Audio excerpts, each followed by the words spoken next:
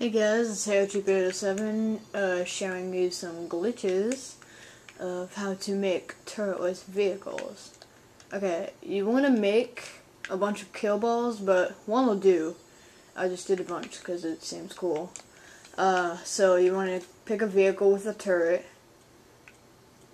and I'm going to go with Scorpion. As you can see, the Scorpion has a big tank turret on it but if you put it in the kill balls while holding it, turret pops off.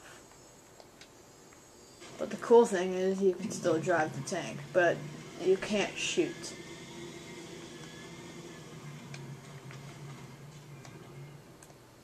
Alright, the next vehicle is a Warthog, which I think is pretty cool. And you can just pop the turret off Let's see, I can't get in the turret.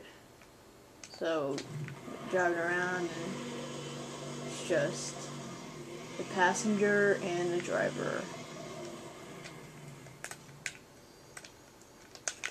Okay, the next vehicle we can do is a Wraith, which is also pretty cool. The Wraith has uh, no turret. No turret at all, and I can't even shoot, but do the other stuff.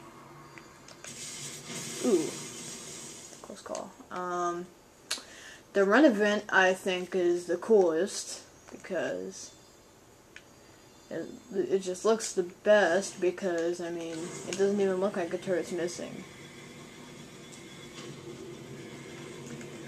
That's just cool.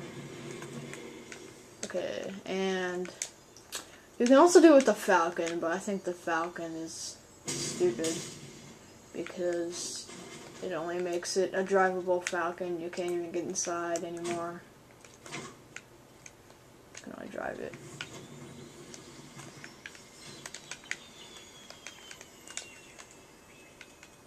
Um, that's basically it and I'll show you more tutorials and glitches and other means necessary later.